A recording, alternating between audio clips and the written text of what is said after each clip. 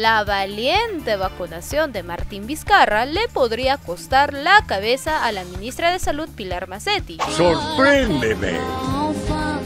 El Congreso olió sangre y ya tienen lista una moción de censura en su contra en plena segunda ola y apenas iniciado el proceso de vacunación.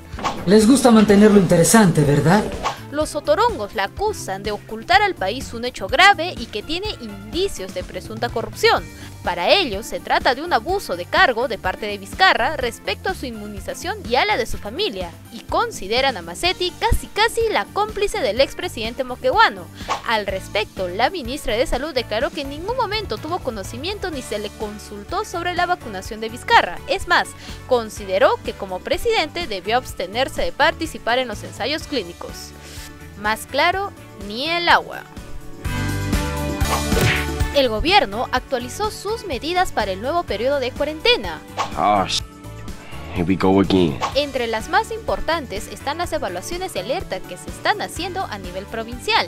El bono de 600 soles también aplicará para las provincias que estén ingresando al nivel de alerta extremo, aunque con diferente cronograma. Asimismo, se informó que desde el 31 de enero a la fecha de hoy se intervino a 1.212 personas en fiestas COVID, siendo Arequipa la cuarta región con más intervenciones por este motivo, y se han otorgado 50.000 multas a ciudadanos que cumplieron las restricciones sanitarias. El uso de los espacios públicos dependerá de la zona de riesgo de cada departamento. En más de un establecimiento de salud Arequipa se han detectado inconsistencias en el padrón inicial de vacunación. Este viernes, mientras se daba inicio a la jornada en el Hospital Honorio Delgado, el director Richard Hernández señaló que en la misma relación se habían incluido un 35% del personal administrativo, dejando sin vacunas a médicos y enfermeras que sí están en la primera línea.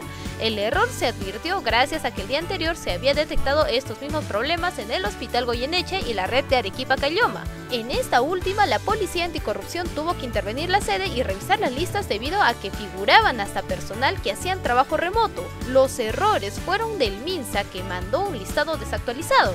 Ahora ha dejado que cada establecimiento haga su propia lista y siga la vacunación.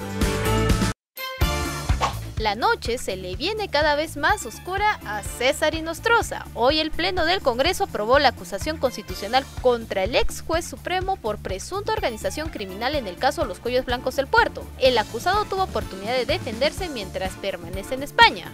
Criminal pido que se declare